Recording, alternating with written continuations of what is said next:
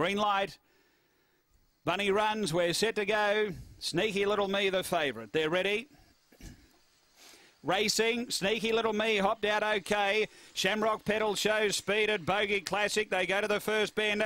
Shamrock Pedal's going to push on. Breaker Khan railed through. Then Bogey Classic, Red Line Lad. They tangle together from Rex Bale. Next, Sneaky Little Me, who's a fair way off them from Velocity Daff and Dinah Hakon down the back, railing up. Shamrock Pedal took the lead from Breaker Khan. Running on now is Rex Bale. They race to the bend. Rex Bale's rounding them up. Breaker Khan dash to the lead. Rex Bale runs on. Breaker Khan in front of Rex Bale. Breaker Khan beats Rex Bale, third Red Line Lad, then Shamrock Pedal. Next is Bogey Classic. Along with it was Sneaky Little